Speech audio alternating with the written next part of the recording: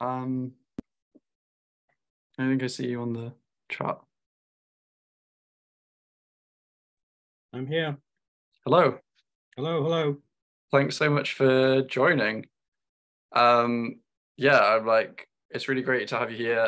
Um, yeah, I'm like, it's really great to have you here. Um, I don't know, like over the past like two years, I've been reading a lot about like property in relation to my own work. Um, and so came across Nick Blomley's work first, uh, reading some of his um, writing on property, and uh, then heard him speak in a really sort of accessible way about property in uh, like land for what I think it was called uh, seminar or something that was happening in in Cambridge. Um, so that was super cool. So really great that you can come here today and give a similar sort of introduction crash course in property. Hopefully you can understand these wider systems. Um, he's a professor of geography at Simon Fraser University, um, has a long-standing interest in legal geography, um, particularly in relation to property. Um, he's interested in the spatiality of legal practices and relationships and the world-making consequences of such legal geographies. Much of his empirical work concerns the often oppressive effects of legal relations on marginalized and oppressed people. Um, thanks so much. Uh, take it away. thanks, Joe. It's just awesome to be here. I'm going to try and share my screen. Okay, I can do that. Uh, I think that, yeah, that should work.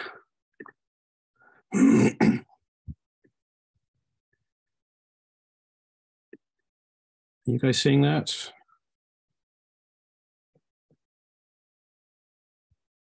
You seeing can't, that? Can't see. Oh, yeah. Sorry, it's full screen now. Perfect. Okay. Um, so, uh, and I have about what half an hour, 45, 40 minutes or so. Yeah. Oh, okay. All right.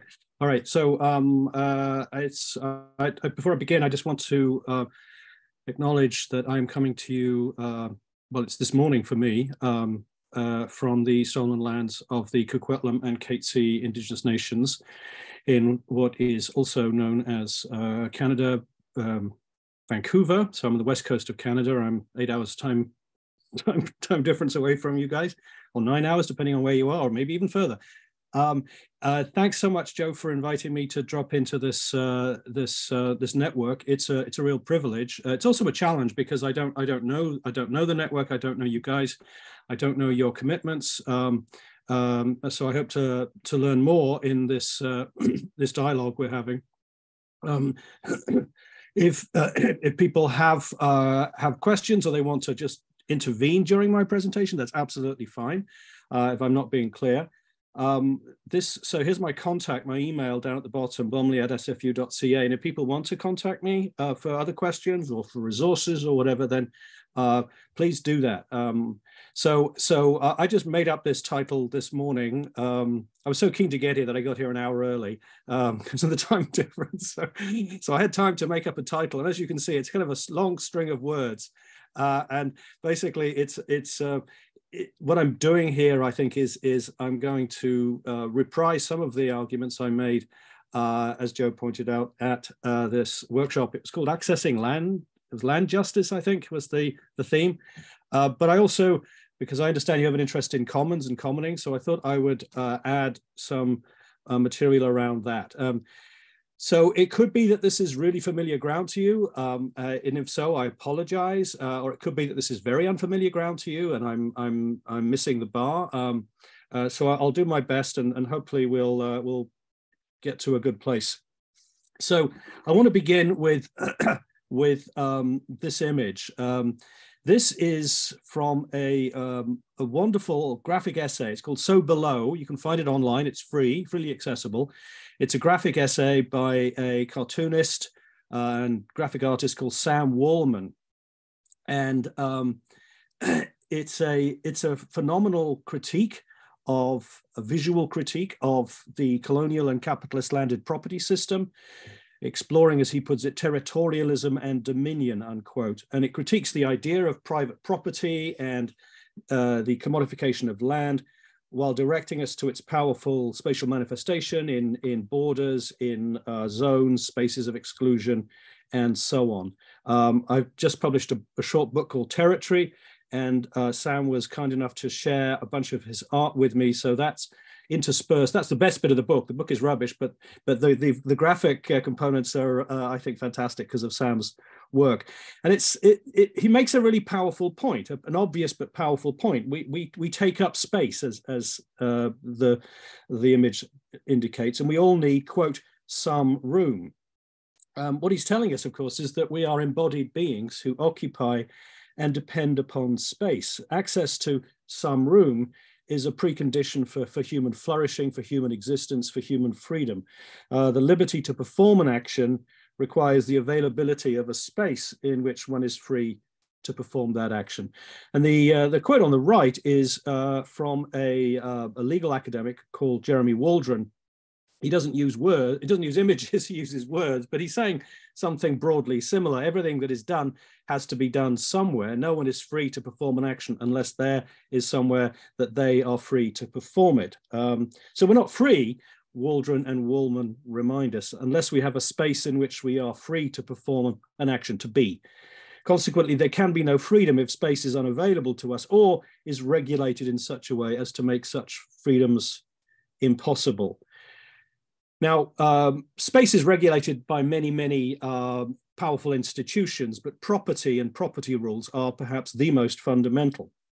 As Waldron puts it, property rules, quote, give us a way of determining in the case of each place who is allowed to be in that place and who is not. Property rules govern access to vital resources and land, of course, is fundamental here. Land is particularly consequential when it comes to human freedom and flourishing. It's not the only resource governed by property by any means, uh, but nevertheless, it's worth talking about.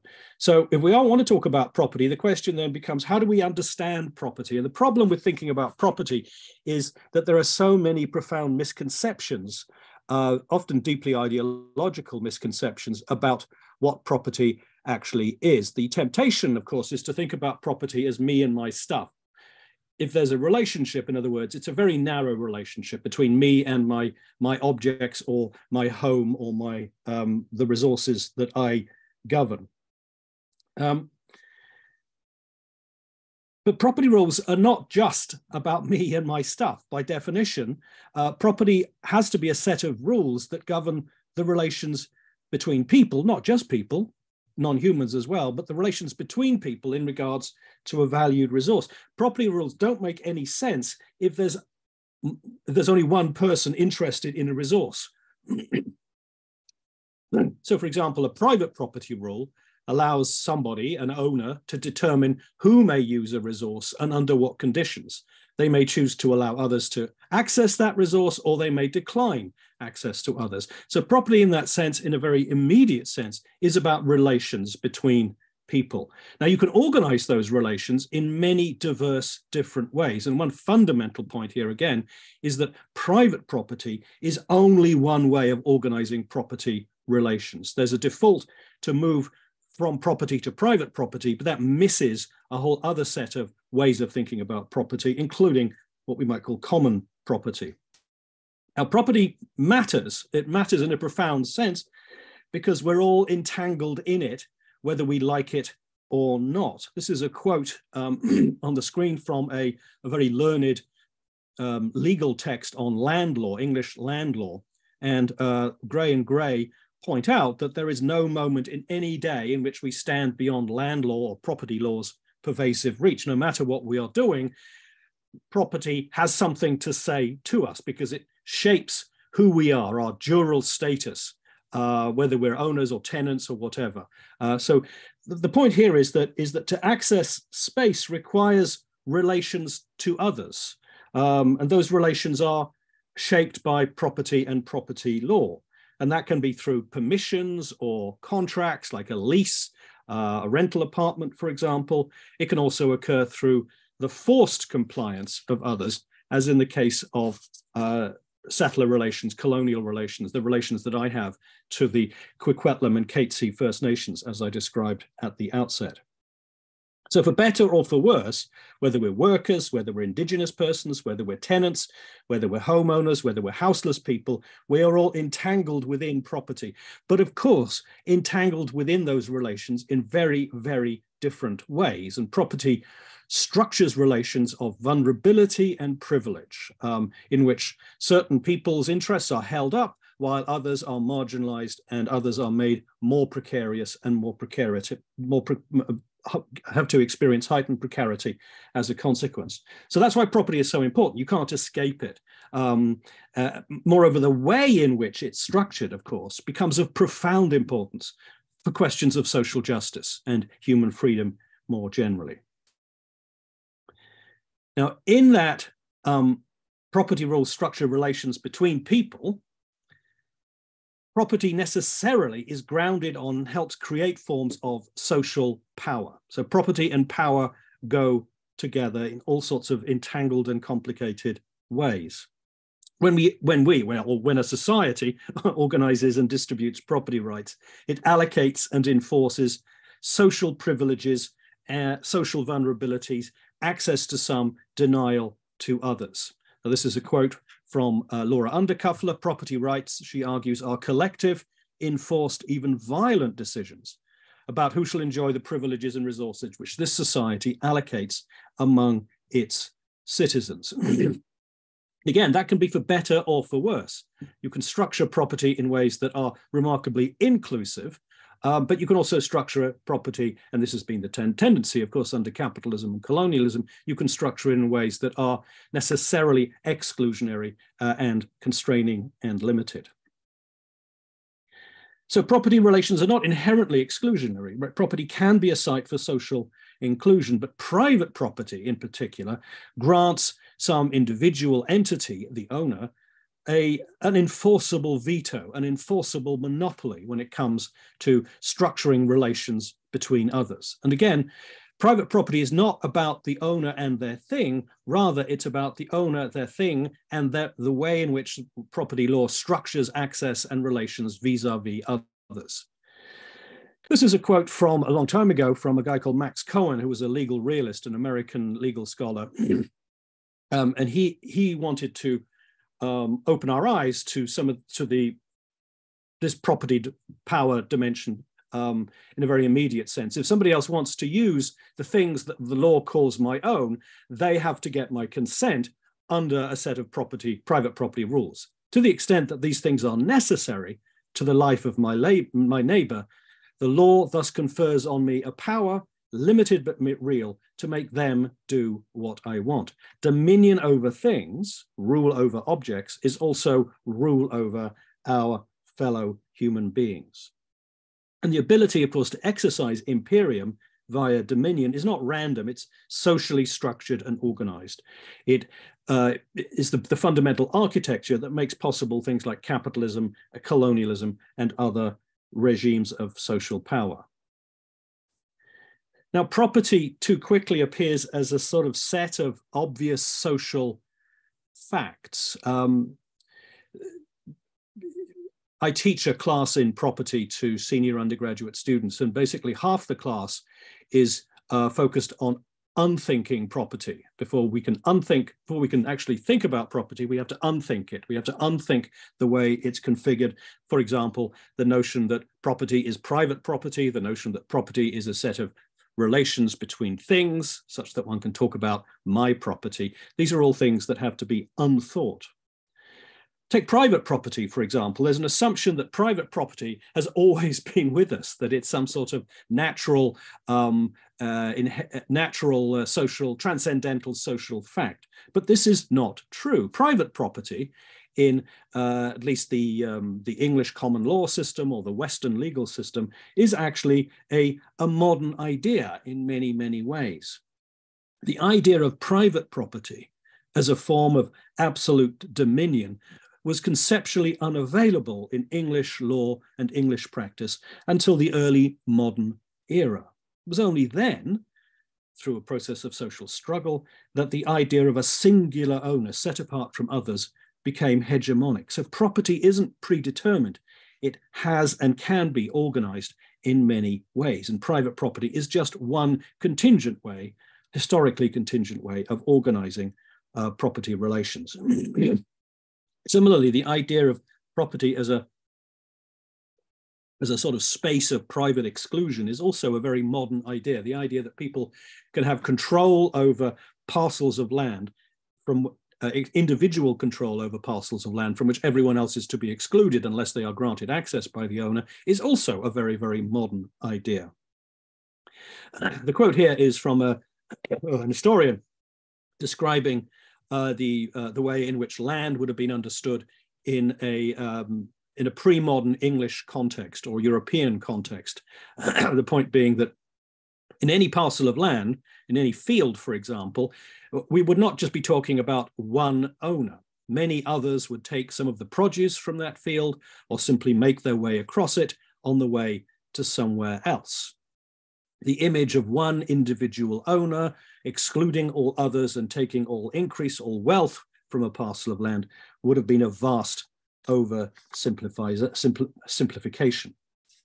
It's only by the 17th century and the emergence of enclosure that property begins to be reimagined by an emergent social class um, that as a, as a, as a, as a, as a, as an abstract space from which others are to be excluded, uh, that we begin to see this idea uh, being pushed forward. Now, enclosure, enclosure of land, which we can talk about if you like, also entails the enclosure of the mind. it's, a, it's a mental project, an ideological project, as much as it is a practical project um, on the land. Because fundamentally, it also entails the denial or the erasure of forms of property that depart from private property. Private property, property becomes property uh, through this process of enclosure and other modalities of property, fundamentally that which enclosure, enclosure uh, destroyed, um, are denied, denigrated, neglected, and overlooked. And that's a familiar thread. So the idea of common property, for example, is something that um, Orthodox observers uh, uh, disregard. They regard it as, as, as, a, as an aberration, as a, a medieval relic, uh, as something um, that is cannot be property, in fact. But when we're talking about common property, uh, we are talking about actually a highly systematized deeply um, uh, carefully organized set of uh, ways of organizing property relations that depart from uh, a simple notion of private property. So to talk about common property is to talk about ownership or access by a group of identifiable individuals, such that one can talk about resources being held, quote, in common. And those commoners, we can call them, have rights by virtue of being in a commons, both collective and individual, uh, to use those resources. And those resources uh, historically could be land, but they don't have to be. They can also be culture, they can be ideas, um, they can be water, uh, they can take many forms. Now, there are dimensions of exclusion to common property, because if it's a group, we're talking about, to some extent, excluding outsiders, those who are perceived to be a threat to the commons. Uh, but if you're an insider, if you're a commoner, by definition, you have the right not to be excluded. You have the right of access that comes from membership in that commons. Commons are not free-for-alls by any means. Commons entail the creation of carefully calibrated and collectively negotiated rules governing use and access. The, the classic English rural commons uh, entailed very, very careful calibration of how many sheep could be put or cows could be put on the pasture, uh, for example. This is a system predicated not on monetization, but rather on self-sustaining, on maintenance, on maintaining ongoing relations over uh, a very extended period of time, uh, what some call a seven generations ethic of care. So alienability, commodification um, are in general threats to that system because of course they undercut that. If you sell off all your land, there is no commons upon which to work. and it's a system that is focused on meeting human needs in a very immediate sense, on provisioning, on providing enough to sustain yourself in a not just in a minimalist way, but in a in a socially productive and ongoing uh, way. Now, there's a book by uh, Gibson Graham and others called Take Back the Economy, an ethical guide for transforming our community communities that came, uh, came out a couple of years ago, and I'd recommend it to you uh, because in, in there they talk a lot about commons. And one of the points they want to make is that commons are not some archaic uh, relic of the past. Rather, they're actually something that uh, we can find happening in our societies uh, right now. They define commons as a property, a practice, or a knowledge that is shared by a community. Uh, and they point to the, uh, the uh, certain dimensions of uh, the commons access, use, benefit, care, and responsibility uh, as taking particular forms under uh, the commons. so we can think of commons as happening in many, many contexts. Um, it's not just, again, some uh, medieval relic. Uh, we can see it in contemporary uh, spaces and practices. The allotment garden or the community garden uh, is one example. I'm a member of a community choir, uh, and that community choir is a sort of a commons. Um, access is shared and wide, use is negotiated by the members of that community, um, care is performed by community members. The resource, in this case, is culture, is, uh, is art uh, rather than land, but nevertheless, we can think of that, I think, also as a sort of commons. Gibson Graham also argue that we depend upon a host of what we might call meta commons, social commons, biophysical, cultural, social, knowledge based, that are continually made and remade through human action, continually drawn down upon and replenished, continually maintained, but also degraded. the commons is also made, not found. And this to me is a, a fundamental point. The temptation, when we're looking for commons, I think, we tend to, to look for particular spaces that are collectively owned, um, uh, like the allotment or the community garden. But if we move away from a sort of noun-centered view of the commons and think rather more uh, in a rather more useful frame, think about the, the practices that actually make commons happen, uh, when we start thinking about commoning rather than simply the commons, as Peter Linebaugh puts it, then uh, I think we can find commoning commons happening all around us. So commoning really is the practice of maintaining the commons. It's that hard relational work of negotiating access, use, care, membership, and so on. Who gets to be in the community choir? Um, how are we going to um, share uh, how we're going to do the, the collective labor that the allotment needs to have uh, in order for it to be realized. What are the rules? Who gets to be a member? Um, and under what conditions might somebody be expelled from uh, a commons? Commoning, Gibson Graham put it, claims resources for a collective or a community of more than one. It involves defining who is the we that establishes protocols for sharing access and use, uh, as well as shouldering its care and how benefits are to be distributed. And when we think about commoning rather than commons, I think we get to a, a more interesting space because commoning can be happening in multiple settings. We can find commoning happening in private property. We can find commoning happening on state property, uh, for example, a, a, social movement that organizes a protest or an occupation in a city park. That park is owned by the municipality, yet the practices of, uh, of, of solidarity and support that the people engaged in that protest are engaged in is a form of commoning. So if we look only at who owns the land, we're going to miss this, I think, important dimension to, to commons and commoning. Now, this is Elinor Ostrom. Uh, she's the only woman who won, who's won a Nobel Prize in economics. And she did so for uh, some really important, very, very empirical work. Um, she isn't um, she isn't a radical by any means. She's uh, she she is a very um, she's an economist who does very detailed, did, she's passed away, unfortunately, she did very, very detailed work, empirical work. And what her goal was essentially was to ref refute this myth um, of the so-called tragedy of the commons. Um, and in her work, what she does is document through careful, careful um, uh, uh, research the, um, the pervasiveness of forms of social systems um, that, as she puts it, resemble neither the state nor the market, but govern resource systems with remarkable or reasonable degrees of success over long periods of time. Um, there's evidence, abundant evidence uh, of, uh, of commoning, in other words, happening in regards to, to resource use. She looks, for example, at fisheries, things like this. And what again comes from her work, I think, which is useful, is that commons are not just a resource, they're a self-organized social system.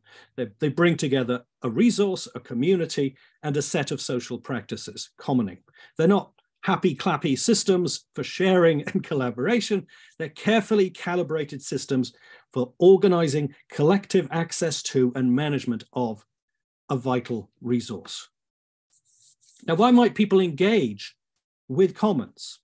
Um, the presumption when it comes to property is that people's engagement with property is self-regarding, it's self-interested.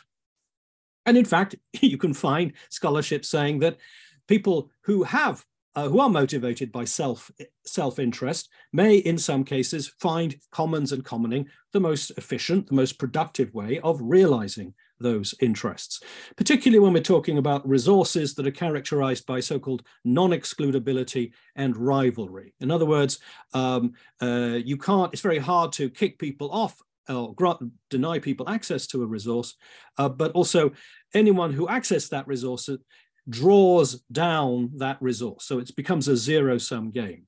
So an inshore fishery, for example, is a resource characterized by non-excludability and rivalry.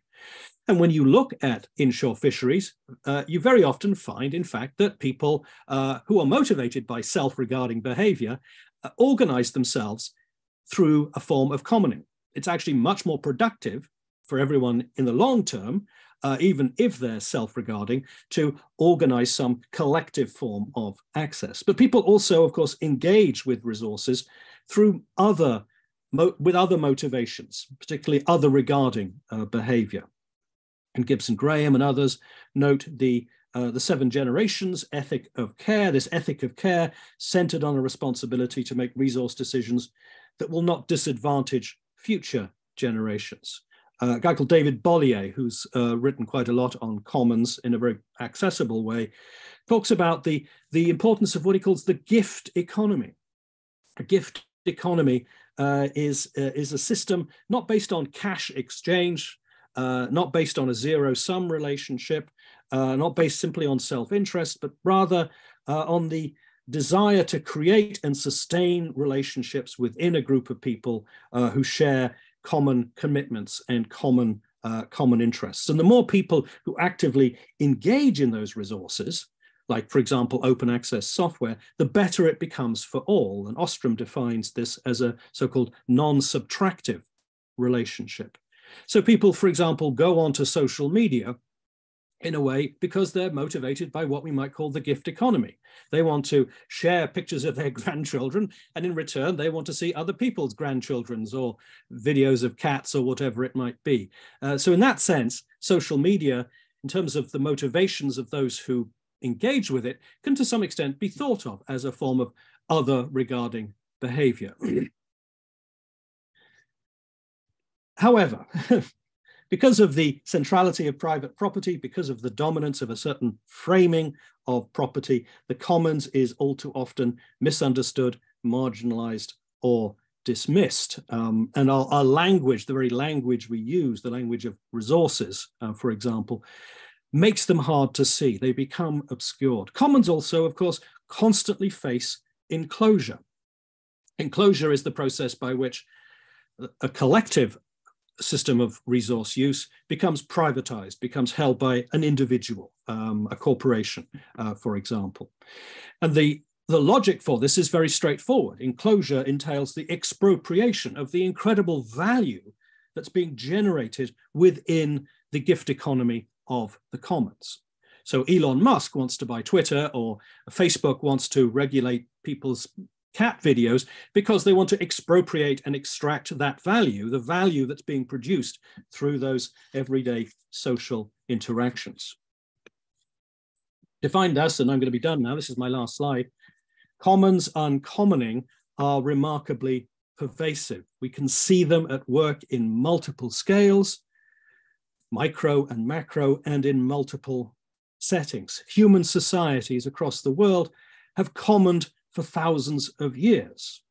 Most of your ancestors, I'm sure, uh, were commoners. Millions, billions of people continue to do so. It's estimated that there are about 2 billion subsistence commoners globally. Historically, most of us were commoners, but also we still are in many ways. I think this is an important point. Commons and commoning serve as a focus for, for new forms of activism and engagement, as well as drawing from long-standing, very ancient forms of social practice. They can be highly efficient solutions to particularly knotty challenges relating to resource use, like, for example, fishery in a uh, access to fishery in a, um, uh, a coastal village. They can be incredibly creative and resilient. They're not necessarily conservative and static. They innovate, they change. They can be value generating, although the value is not necessarily value that is immediately monetized, although there are those who would like to monetize those that value. They entail innovative bottom-up forms of experimentation tied to local needs and local experience. And they can be essential, arguably, to human well-being, human survival, and human flourishing. and I will stop there. Thank you very much for your interest. Great, thanks so much. It is only going to hear me like clapping though. So like, yeah, thanks. That was really good. Um, particularly um, when you're finishing like describing the different types of commons that um that have sorry, I just got a text from the next next person um that that are emer- like emerging um for people to get some some sort of idea of like the different strands that that we can take projects within this um uh yeah and um yeah but I was particularly thinking about like examples in um in Sheffield um of of collective resources well commons that have been attempted to be enclosed or like maybe we'll hear from some people later about like uh, the when there's a sort of shared resource that's that's proven like they, they create uh, something that's socially valuable and then that sort of gets a monetary value then that seems like something that can be uh, exploited and enclosed by different private entities uh, that come in swoop in. Um, yeah. Yeah that's a good that's a good point and that struggle between uh, around enclosure um, and resistance from the commoners has been has been ongoing. Uh, so so there's a story of enclosure that's important, but there's a story of resistance to enclosure, um, uh, of commoners pushing back and continuing to uh, to push back um, over this process of the expropriation of of the value that's generated in the commons. Commons are protected by commoners because for many reasons because they they work because they sustain people um, uh, because they uh, so historically because they allowed people to be self-sufficient. Um, when the rural enclosure happened, people no longer become self-sufficient. They have to go to Manchester or to Sheffield and to work in the mills uh, and uh, to give their, to sell their labour to, uh, to, to, to private property owners rather than being able to use their own labour um, in relations with others to uh, to generate the value that sustained them and their families for for generations. So it's a, it's an important when we talk about enclosure, we always have to talk about the resistance to uh, to to, uh, to, to enclosure because I think that's that's fundamental. Yeah, super interesting. Um, yeah, as uh, well, if anyone has any questions, please just like raise your hand. Otherwise, I'll just like continue talking as I um, want to do. Um, uh, yeah, like particularly like what was really um, like eye opening for me in my understanding of property was not like not understanding it as this like monolithic thing that exists, but like in terms of like contracts of like the number of rights that you're given over a place. And so like for example, when you get the deed to a house, you get like certain rights that you have over that space. And then as a as a renter, like interacting yeah. with that, the the um the rights that are given over to me temporarily because I, I pay for pay for them um, so like, yeah, to understand the world around us in that way, um, then allows you to like work out ways of ways around it and the little bits that you can change. Yeah, I think that's that's that's really important. I mean, uh, there's a temptation, I think, to think about partly because we think about property as private property, to think about you know private property as as as creating insiders and outsiders. There are owners who own everything, and then there's everyone else who doesn't accept, doesn't own anything. They're workers and their tenants and so on. And that's that's mis- that's correct insofar as the power relation is clearly at play there, because people who who are private property owners have been granted more powers. Um, they don't they don't. It's not theirs. It's been granted to them by by the state. Um, but but the tenant, the worker, they're also entangled in property and they're caught up in those property relations. Uh, but that, that's not to say that this is a horizontal relationship by, by any means. It's, it's to think relationally, to think carefully about those social relations, to think about the way in which they're framed and constituted, uh, and in particular to think about the way in which they generate uh, precarity. Um, I have a paper a couple of years ago that tried to kind of trace this through and think about the notion of precarious property, uh, recognizing that most people uh, are highly precarious in terms of the relationship they have to uh, to dominant others who who extract wealth and value by virtue of the uh, the property relations that they've been uh, they've been granted by uh, by a colonial uh, capitalist um, system. Yeah, I think like as well. I think about the, that relationship between um, well, like groups that we've been talking to in Sheffield who are like, yeah, like in precarious positions because they don't own the the building that they operate out of.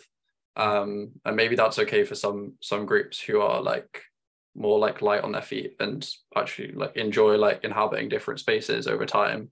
But then like if it's something that that is a is a cornerstone of a, like a specific community group in a location, then like the not having the autonomy to be able to like control your yeah your own property is like um yeah a real issue and something easily exploited. Yeah you don't you don't but you don't have to be a pr- private property owner to have a space of autonomy and relative freedom. Uh, although it's going to be relatively conditional given the dominance of those property yeah. relations. So i'm not advocating everyone to become private property owners by by any means. Um, but but recognizing those recognizing sometimes the kind of the the particular work that property does in structuring relations of privilege and uh, dependency is is important. And there's actually lots of important political work that happens in those spaces. So tenant organizing for example is very much about understanding the specificities of the law um, that empowers evictions for example uh, and and then denies evictions under certain conditions right? So uh, landlords do not have universal power to uh, to, to, to, to evict, despite what they may they may think. So there's space in there sometimes for for kind of creative political resistance and uh, and struggle. Hmm. Yeah.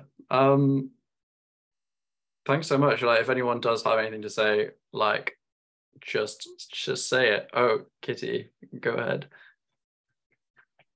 Hi. Um, I was just thinking. I just wanted to comment on the point you made about commons having rules and regulations and the people who all share the the property um, or the the ownership the people who collectively use the resource of that space or property have to um, self-organize and then it, it can in theory become exclusionary because they have to make the rules about who's who becomes a part of this group right which i think is i think is interesting because it's not yeah. it's not it's not a free for all basically, which I think is the scary. well, that's yeah. That, I mean, you could you could make it a free for all if you like, but but that's probably not going to work very well. So so that's the tragedy of the commons, the myth of the tragedy of the commons um, uh, that uh, maybe some people have heard heard about uh, Garrett Hardin, who was a was actually a racist and a nasty piece of work, um, he actually was talking about an open access system where anybody could access that system at any time uh, without recognizing the actual rules that people construct to regulate to regulate access. Um, so so under certain so under certain uh, circumstances, yeah, um, exclusion is necessary. Um, so um, if you're organizing tenants, you probably want to exclude um, landlords, for, for example. Um, uh, if you have a, you know, you're organizing a community garden, then not everybody gets to use that space, or they can access that space, but they don't, they don't become a commoner perhaps. So, mm-hmm. so you can negotiate. You know, people are welcome to come into that community garden, but you can't take people's vegetables, um, and you can't just stop gardening there. You need to go through the process of joining joining the commons. Um, so yeah, yeah. There, there is there, it's an important dynamic uh, that needs to be uh, to be thought through. Thank you. Yeah, I think definitely like it's a lot, hopefully like understanding these things now for everyone who's sort of like in I don't know being introduced to ideas of like thinking about thinking about property in general and thinking about commons um not only as like just shared spaces but with these frameworks around them. Like i think it was really good to to get that first understanding of that. Um and we'll obviously have this recorded as well if you want to go back over it anyone and like refresh your memory in the coming months uh so yeah thanks thanks so much nick um it was brilliant um thanks so much for waking up and like joining yeah. from canada Um, oh, it would be, oh, hang on, a little question coming in. Okay, um, I see it. Between the commons and the community. Yeah. It would be interesting for us if you could talk a little bit about the difference between the commons and the community. Yeah, that's, uh, so that's an interesting question. Um, um, uh, so they are overlapping but not necessarily the same. So commons by definition entails a collective, uh, entails more than one, entails a group. Um, um, it, it, you can't have a, an in, you know a singular uh, commoner, um, but but community I think usually takes us beyond the commons as a as a self-organizing system um, to include potentially much larger kind of networks of of people. So I would think of them as overlapping, but not necessarily not necessarily the same. Um, uh, particularly if the commons requires homogeneity. Um, I don't think commons. No, commons doesn't require homogeneity. Um, uh, I, I, people, it, it's, it's not necessarily um, uh, some sort of um, political project in which everyone has to wear the same clothes and uh, do the same thing. Um, uh, you, commons commons can entail people who are very different. My my community choir, for example, uh, is no by no means homogenous. Um, there are people who come into that who are very politically very different. Uh, there are young people, there are old people, um, but but they all have uh, there's conformity insofar as there's a shared set of understandings about how this commons is going to work. Um, uh, and people are coming into that for very different reasons. Somebody may want to join that choir because, God help them, they want to learn how to sing. Um, not a very good space, actually, given that our choir is not very good at singing, but we try very hard. Uh, so, so there's going to be diversity in that in that system. Um, uh, it's it's not just about uh, creating sameness. I think that's a that's a that's a misunderstanding.